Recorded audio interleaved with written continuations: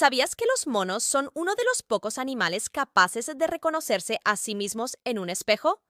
Esta habilidad demuestra un nivel de autoconciencia que se encuentra comúnmente en primates avanzados.